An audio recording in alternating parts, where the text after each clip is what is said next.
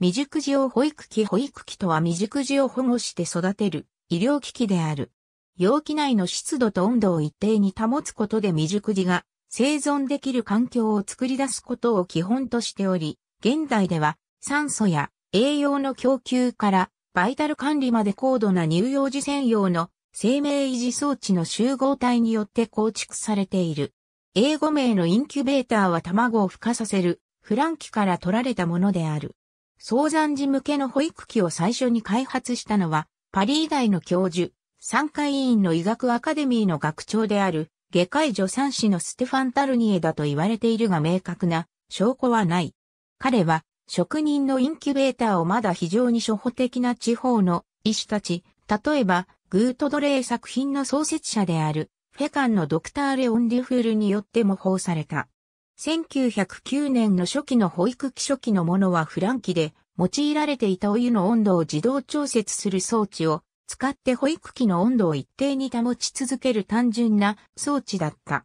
世界で初めて実用化させたのはマーティン・クーニーというドイツ系ユダヤ人の医師だが医療機関で実用化されたのではなくアメリカニューヨーク市ブルックリンクの南端にあるコニーアイランド遊園地の見せ物小屋で未熟児を見せ物にするために使用された。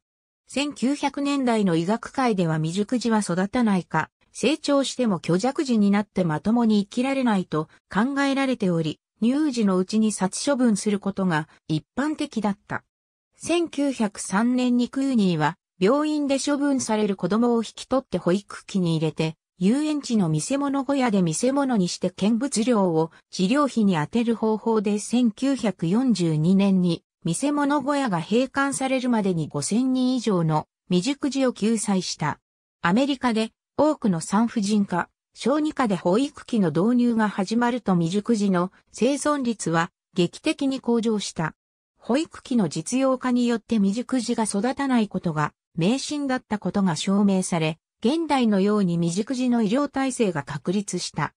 コニーアイランド遊園地の見せ物ゴーヤが話題になると、ルナパークにも同様の施設ができた。当時は遊園地の入場料が10セントに対して未熟児の見せ物小屋の見物料は25セントと遊園地の中でも高い見せ物だった。1944年8月に火災でルナパークが閉鎖されると保育器と未熟児たちは小児科病院へ引き取られていった。同時期にコニーアイランドの未熟児も病院へ引き取られ、遊園地の見せ物小屋はなくなった。2020年現在もコニーアイランド遊園地にはドクター、クーニーの写真と業績が展示されている。現代の保育器は1950年代に小児科医によって作り直されたもので、温度の制御、感染のリスクの防止、及び各種医療リソースを提供している。ありがとうございます。